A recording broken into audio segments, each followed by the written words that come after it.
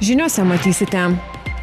Pabėgėlių registracijos centre Lietuvoje jau užsiregistravo daugiau nei 300 ukrainiečių. Srautas iš tikrųjų dvigubėja kasdieną. Užgavėnės Lietuvoje palaikymas karą patiriančiai Ukrainai. Na, aišku, žinant situaciją, tai nėra lengva, bet irgi stengiamės dėl vaikų. Kauno Žalgirio rankininkės po ketverių metų pertraukos susigražino Lietuvos rankinio federacijos taurę.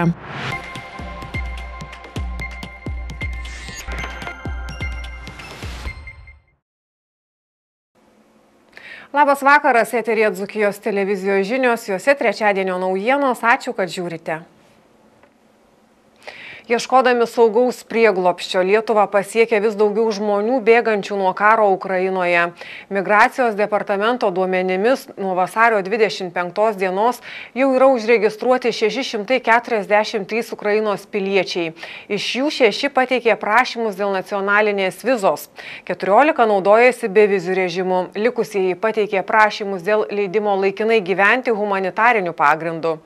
Ukrainiečių registracijos centre Lietuvoje jau registruota registruota daugiau nei 300 asmenų. Kasdien į Lietuvą atvyksta vis daugiau nuo karo savo šalyje bėgančių ukrainiečių. Išaugus karo pabėgėlių skaičiui, atvykstančiųjų srautai registracijos centre padvigubėjo, sako Lietuvos apskrities vyriausiojo policijos komisariato skyriaus viršininkas, pabėgėlių registracijos centro koordinatorius Mantas Truskas. Šiandien po pietų centre jau buvo registravęsi dar 95 asmenys, iš viso registruota per 300. Srautas iš tikrųjų dvigubėja kasdieną matome pagal mūsų centro srautų statistiką. Pajėgumų kol kas užtenka, labai džiaugiamės, kad atsiranda savanorių ir tikrai jų daug ir, ir sėkmingai vykdome kol kas centro veiklą. Savanoriai realiai čia prisideda viskuo. Tai pradedant nuo maisto dalinimo, baigiant srautų sureguliavimo, asmens hygieninių paketų suteikimo, taipogi asmenų netgi nuvedimo iki polsio zonos, patalynės keitimo, viskas šitus, šiuos darbus viską daro savanoriai. Visi užsieniečiai bėgantys nuo karo Ukrainoje nukreipiami į Lietuvos ir į Marijampolės registracijos centrus. Juose žmonės gali būti apgyvendinti iki 72 valandų. Po migracijos procedūrų ukrainiečiai nukreipiami į laikino apgyvendinimo vietas. Centre buvom suteikę laikiną pasibuvimą dešimčiai asmenų, tačiau jie šiandieną ir išvyko. Kol kas turime dar penkis asmenius, kurie laukia, kol bus surastas gyvenamasis plotas, o naujų, kurie liktų nakčiai, neturime. Vakar vakare turėjome aštuonis, kurie ir nakvojo centre, bet šiuo metu jie yra irgi išvykę. Iš karo zonos Ukrainoje atvykusi Valentina dėkoja lietuviams už pagalbą jos šalies žmonėms. Dėkoju jūsų žmonėms, mus labai gerai priėmė, viską suteikia, padeda. Ačiū, žemai lenkiu galvą. Nedaug dievė niekam išgyventi karą. Niekada nedumala, kad pražyti stolka lėtų. Niekada negalvojau, kad pragyvenus tiek metų teks kažkur tai skrendant kulkoms bėgti iš savo žemės. Ačiū visiems. Spasibo visiems. Slava Ukrainie. Moteris taip pat įsitikinusi, jog Ukraina nepasiduos. Vis mir Vastaiot, vis mir, vidit, Visas pasaulis mato, kas vyksta. Mes nedidelė šalis laikom frontą ir ginam pusę Europos. Mes, ukrainiečiai, kovosim iki galo. Budim stojati do paslednio. O mūsų prezidentas šaunuolis, didžiuojamės juo. Kai išrinko, sakė, jog darys artistas, bet jis dabar pirmose gretose nepasiduoda, niekur nebėga, prieiminėja sprendimus šaunuolis. Mes meldžiamės už savo prezidentą. Šiuo metu mūsų prezidentas didvyris. Prezident naš v to vremė heroj. Migracijos departamento duomenimis nuo šių metų vasario 25 dienos jau yra užregistruoti 643 Ukrainos piliečiai. 623 pateikė prašymus dėl leidimo laikinai gyventi humanitariniu pagrindu, 6 pateikė prašymus dėl nacionalinės vizos, 14 jų naudojasi be vizų režimu.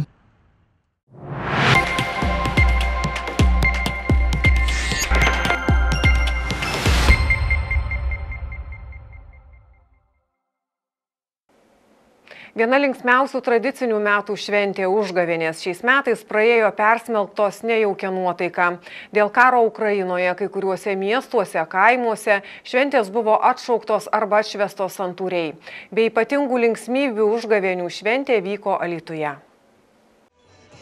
Dėl karo Ukrainoje visoje šalyje tvyrant nerimui užgavėnės alitiškiai šventė, tačiau santūriai į Alitaus kraštotyros muziejaus kiemelėje surenktą renginį susirinko nemažas būrys miestelėnų mažųjų alitiškių. Susirinkusieji buvo vaišinami gardžiais blynais, šilta arbata, užgavėnių dalyviai segėjo mėlynas ir geltonas juosteles. Pasak Alitaus miesto savivaldybės administracijos direktorės pavaduotojo Giedriaus Griškevičiaus užgavėnės Alituje minimos palaikant Ukrainą šiandien užgavės yra kitokios ir be linksmybių, be harmonikos, be tų šokių trankių, kur būdavo anksčiau švenčiamos. Na, o šiandien užgavės, kaip matome, yra palaikymas Ukrainai, solidarumo akcija. Iš tikrųjų, tai vis tiek tos liaudės dainos, viltingos dainos mūsų kovotojams. Vis tiek turime paminėti tą kalendorinę šventę, bent tokią simboliką o morę sudeginsime, tai galbūt tas ir blogis dings ir tas karas kuo greičiau pasibaigs. Dėl to ir čia tas simboliškai užgavines norime paminėti.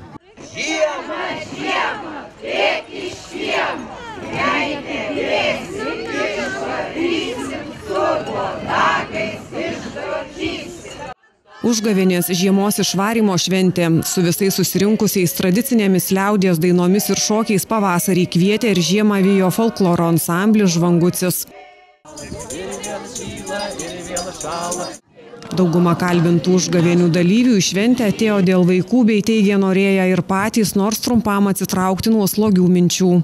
Realiai kaip ir politi, politiškai, tai realiai kaip ir sunku, sunku tą vis tiek praeiti, kaip bebūtų. Um, tai žodžiu, nu atėjom vis tiek pasidžiaugti, kadangi turim vaiką, tai kaip bebūtų, dėl jo realiai čia atėjome, tiesiog praleisti gerai laiką. Na, aišku, Šiandien situacija tai nėra lengva, bet irgi stengiamės dėl vaikų, stengiamės išeiti, prasiblaškyti. Aišku, mintys esam su Ukraina ir palaikome, bet yra kaip yra ir stengiamės vis tiek pralinksminti vaikus.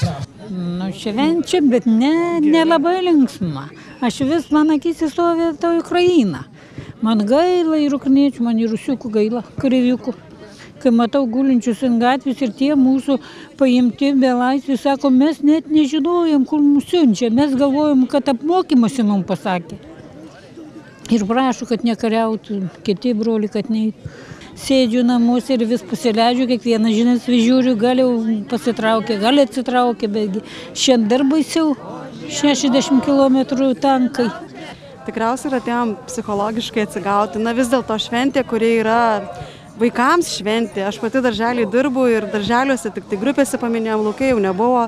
Tai atėjom šiek tiek tokio optimizmo, nes sunku ir sekti visas žinias, todėl norisi galvą pailsinti šiek tiek. Manom, kad kai viskas aplinkui tai vyksta, tai kiek įmanoma reikia daugiau bandyti džiaugtis, kad, kad tiesiog gyvenimas būtų lengvesnis, nes nežinom, kaip, kaip viskas toliau bus, tai džiaugiamės kiek įmanoma daugiau.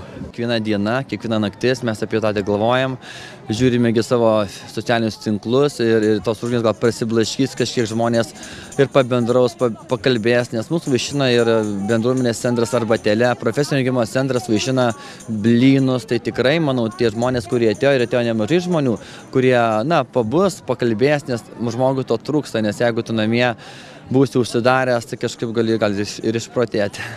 Renginio pabaigoje suliepsnojo vienas pagrindinių užgavėnių atributų - morė.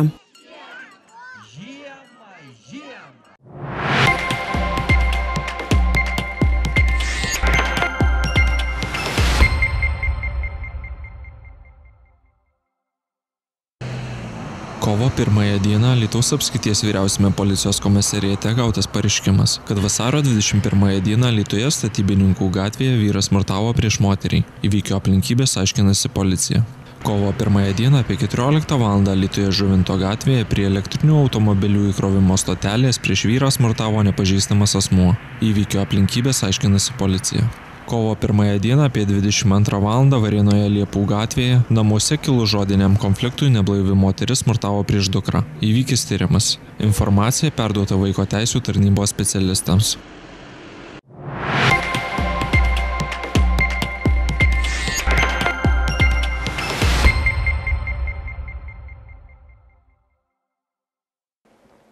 Vasario pabaigoje Kauno Žalgirio rankininkės Lietuvos moterų rankinio federacijos finalo kovoje po ketverių metų pertraukos iškovojo taurę. Savaitgalį Klaipėdoje vyko 7bet Lietuvos moterų rankinio federacijos taurės finalo ketvirto rungtynės, kuriuose Lietuvos sporto ir rekreacijos centro trenerės Rasos Lugauskinės auklėtinės Deimantė Burbaitė ir Gabrielė Paukštytė atstovaudamos Kauno Žalgerio komandą iškovojo taurę ir tapo čempionėmis. Prieš rungtynės gausiomis ovacijomis buvo pagerbta Ukraina. Susitikimas prasidėjo taškas į tašką, tačiau penktąją žaidimo minutę žalgerietės ėmėsi iniciatyvos ir pradėjo įrodinėti savo pranašumus. Per pirmąjį kelnį jos buvo įgavusios keturių taškų persvarą, tačiau kelnio pabaigoje Vilnietėms pavyko sumažinti deficitą iki dviejų. Po ilgosios pertraukos grįžusias komandas kėlinio pradžioje skyrė minimalus skirtumas. Vis tik tai ilgai netruko, kai kaunietės įjungusios aukštesnę pavarą pradėjo greuti varžovų gynybą ir didinti savo taškų persvarą. Iki pat kėlinio pabaigos išlaikiusios solidžią persvarą Kauno Žalgirio rankininkės šventė pergalę rezultatu 31-26.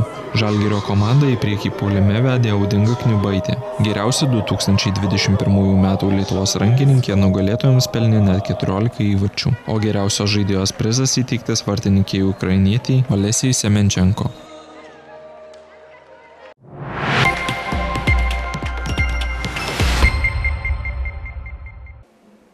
Tiek naujienų šiandien. Ačiū, kad žiūrėjote. Gero vakaro ir iki rytojaus.